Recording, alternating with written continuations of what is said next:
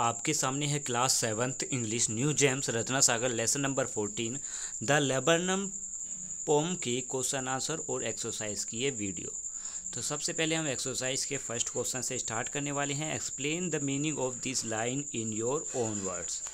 Question number one है आ lone laburnum. इसका meaning यहाँ पोएम में यूज़ हुआ है एक ट्री जो बिल्कुल अकेला है और किसी भी तरीके से कोई ऐसी का, कार्य नहीं करता कि कोई उसको नोटिस करे। सेकंड है यहाँ पर there's nothing to this tree यहाँ पे इसका आंसर हमने यहाँ पे लिखा है ordinary looking tree that has nothing special साधारण सा एक पेड़ जिसमें कुछ भी आ, अलग नहीं है ठीक है कुछ भी स्पेशल नहीं है। The thundery grey sky cast its gloom यहाँ पे मीनिंग है इसका the dusty sky cover its dull leaves यानी धूल भरा आसमान इसकी पत्तियों को ढक लेता है।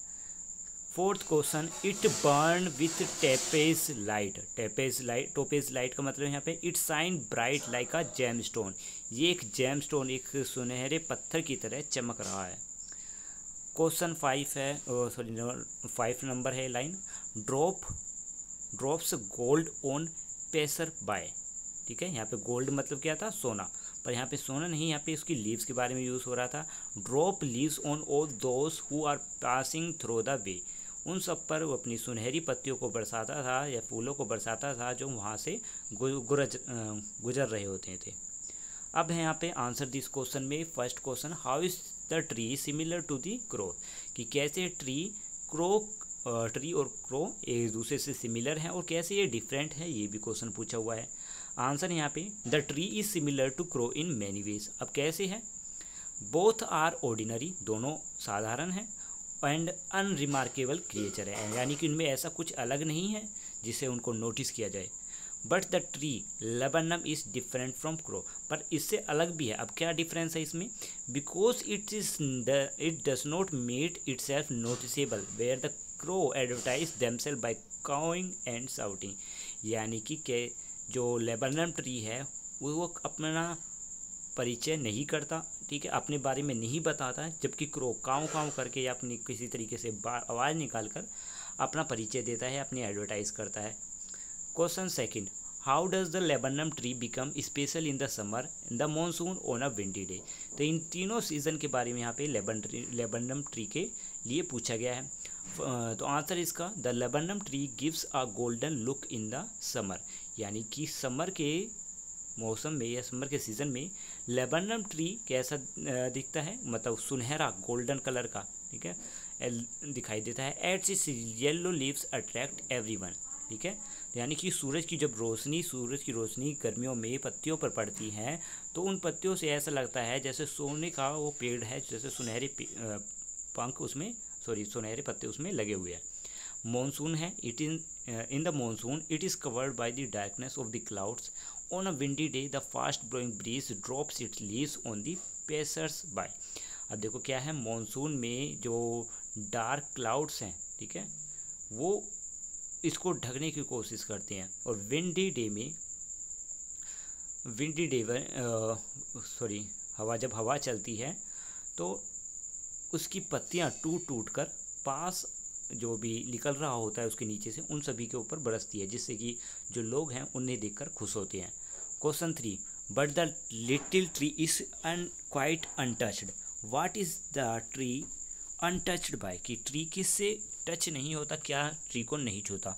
आंसर है इसमें the tree is untouched by thundery grey sky गरजता हुआ जो आसमान है, वो उसका असर इस ट्री पर कुछ भी नहीं होता।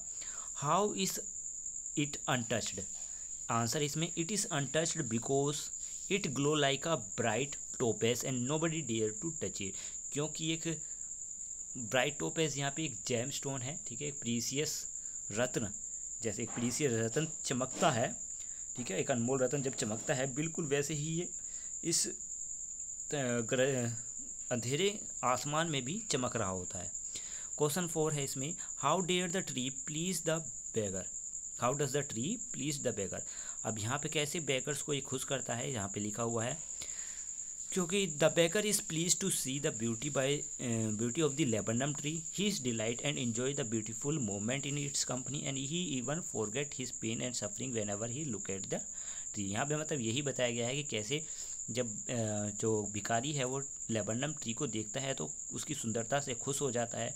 उसे उसे लेबनम ट्री देखने में अच्छा लगता है, लेबनम ट्री का साथ अच्छा लगता है, वो अपने दुख दर्द को सभी को भूल जाता है जब वो लेबनम ट्री को देखता है। Question C what kind of joy does the poet describe as free किस तरीके का जॉय बता रहे हैं यहाँ पे? Free is the joy that beggar experience while passing by the laburnum tree question second why does not the laburnum need to advertise itself?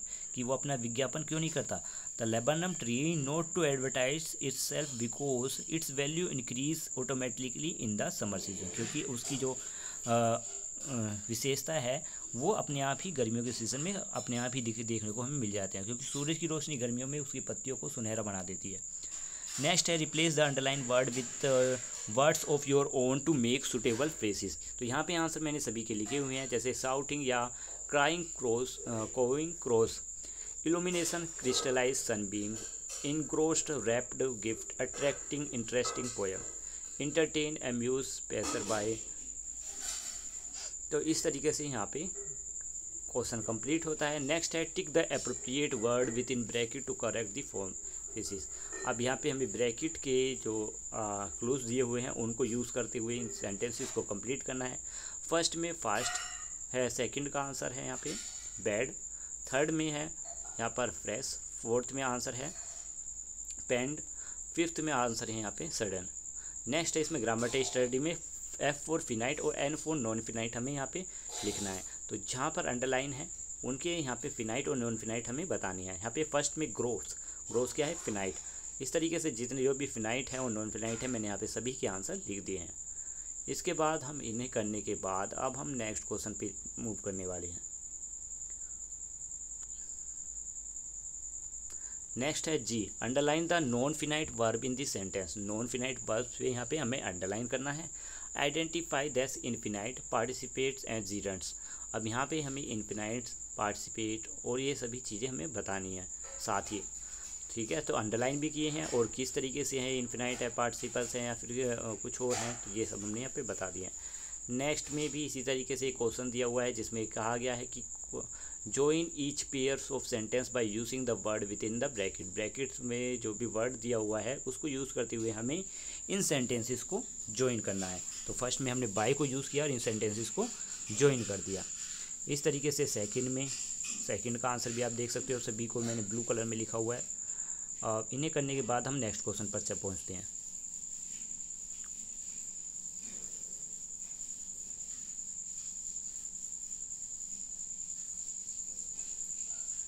Next है इसमें नेक्स्ट और last question write a summary of this poem इस poem को की हमें यहाँ पे summary लिखनी है। समरी आप देख सकते हो यहाँ पर, पूरी छोटे सा पैराग्राफ में हमने यहाँ पे समरी लिखी है। इस तो इस पोम की समरी को मैं थोड़ा पढ़ देता हूँ। In this poem the poet Meera Oberoi ये तो आप जानते ही हैं इस पोम को किसने लिखा था? पोइट मीरा ओब्रॉय ने। वो क्या लिखती हैं?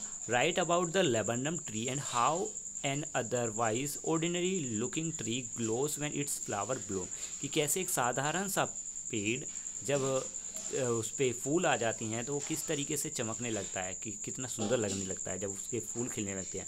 The laburnum tree is all alone कि लेबनम ट्री कैसे कैसा था, अकेला था and does not make itself noticeable और ऐसा भी कोई मतलब वो नहीं करता था जिससे कि लोग उसको नोटिस करें। Its appearance change in different season कि उसका जो भी लुक है, वो हर मौसम में बदलता है। जैसे कि आपने पोएम में पढ़ा होगा, गर्मियों के सीज़न में उसकी पत्तियाँ चमकती है। जब हवा चलती हैं तो उसकी पत्तियाँ लोगों के ऊपर गिरती है। तो इस तरीके से अलग अलग मौसम में अलग अलग उसकी वैल्यू बताई गई है। Value increase in the spring where is summer as is ordinary as any other tree neither its leave are remarkable not its height but when its spring the golden leaves cover its like a shield मतलब देखिए यहीं पे सभी मौसम के बारे में बताया गया है कि हर मौसम में जब सीज़न बदलता है या मौसम बदलता है तो किस तरीके से आ, उसमें असर आते हैं क्या क्या चेंजेस आते हैं। It glow like a bright topaz bright topaz क्या है? एक प्रीसियस स्टोन है तो उसकी तरह ये चमकता है। And catches that attention of every patron that passes by कि जितने भी लोग या जितने भी या पैदल चलने वाले यात लोग हैं, वो जब उस जगह से जा रहे होते हैं तो सभी का अटेंशन वो अपनी तरफ़ अट्रैक्ट कर लेता है।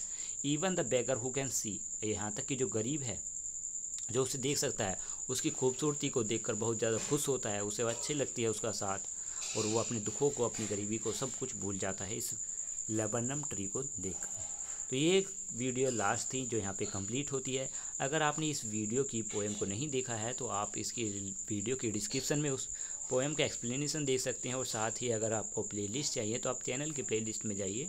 आपको इस क्लास के सभी वीडियोस के एक्सप्लेनेशन, सभी चैप्टर्स के एक्सप्लेनेशन और सभी चैप्टर्स की क्वेश्चन आंसर एक्सरसाइज सभी मिल जाएँगे।